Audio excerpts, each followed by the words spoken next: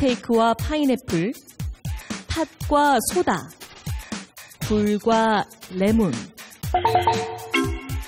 12년 전 여러분들의 선배들이 아주 헷갈려 했던 문제입니다. 답판을 들어주세요! 보기 4개가 모두 다 나온 것 같은데요. 혹시 이우석 학생, 그 전에 도전했던 선배 중에 아는 사람 있어요? 저희 사촌 형이 여기 출연했었어요, 그때. 와. 문제 몇 번까지 풀었어요? 3번까지 푼 걸로.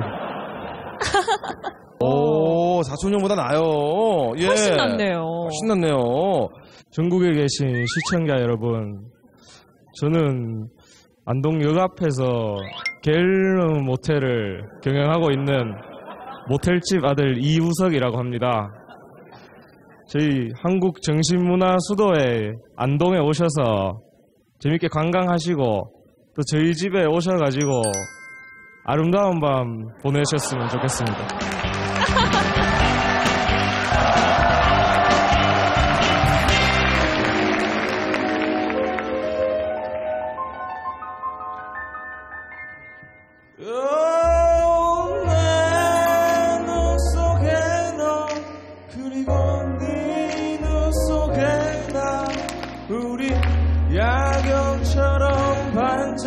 거리네.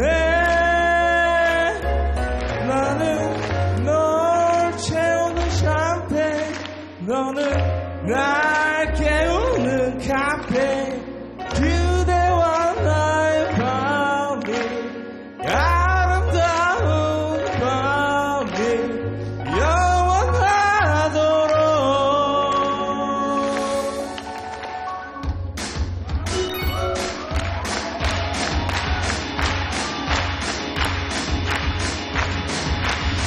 baby 몇 시까지 집에 가야 하니? 헤어지기 싫어. 어떡하지? 오늘 밤은 영영 오지 않아 정녕 지금 당장 전화 걸어 엄마에게 늦는다고 친구네 집이라고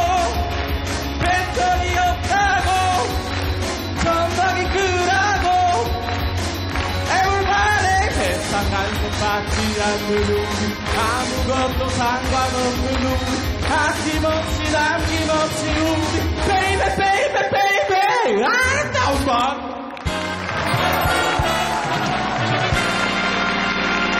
지난 도전에서 무려 17명을 떨어뜨린 이 문제.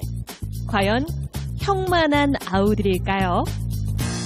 정답은 팥과 소다입니다.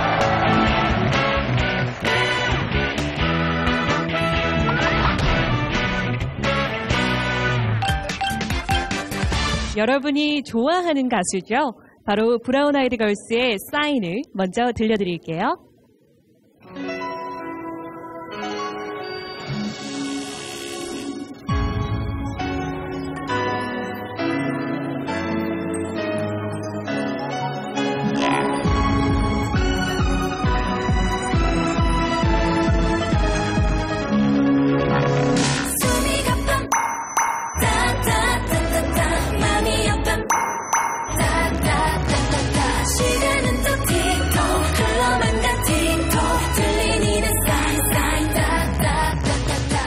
효과음에 들어갈 말로 비행기나 선박에서 국제 공용으로 쓰이는 이 조난 구조 신호는 무엇일까요?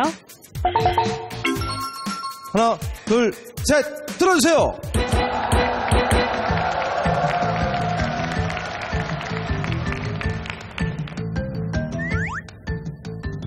자 브라운 아이드 걸스의 사인 같이 한번 불러보도록 하겠습니다. 시작 숨이 가빠 baby 타타타타타.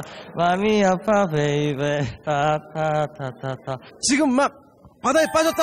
시작! baby baby baby baby baby. 이 말은 날 도우러 오시오라는 프랑스어에서 유래됐는데요. 정답은 음악으로 확인하시죠.